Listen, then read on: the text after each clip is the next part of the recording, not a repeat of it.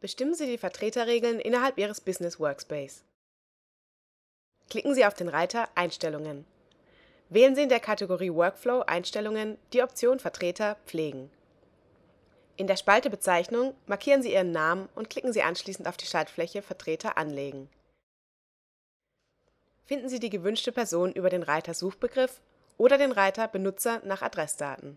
Klicken Sie auf die Schaltfläche Suche starten. Markieren Sie den zutreffenden Namen und klicken Sie auf die Schaltfläche Übernehmen. Tragen Sie die Zeitperiode ein oder wählen Sie das Datum über das Kalender-Icon. Wählen Sie ein Vertreterprofil aus der Liste und klicken Sie auf die Schaltfläche Übernehmen. Klicken Sie anschließend auf die Schaltfläche Speichern. Im Fenster Persönliche Vertreter erscheint Ihre angelegte Vertretung. Innerhalb Ihres Business Workspace klicken Sie auf den Reiter Einstellungen. Wählen Sie in der Kategorie Workflow Einstellungen die Option Vertreter aktivieren, deaktivieren.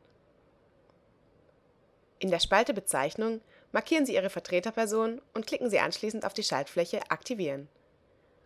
In der Spalte Status der Vertretung erscheint die Vertretung als aktiviert. Innerhalb Ihres Business Workspace klicken Sie auf den Reiter Einstellungen.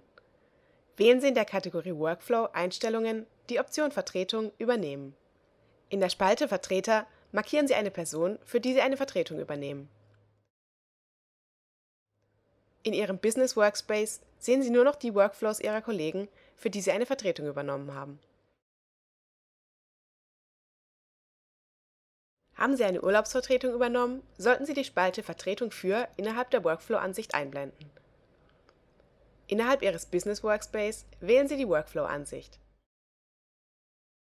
Klicken Sie auf den kleinen Pfeil im Icon Layout auswählen und wählen Sie die Option Layout ändern.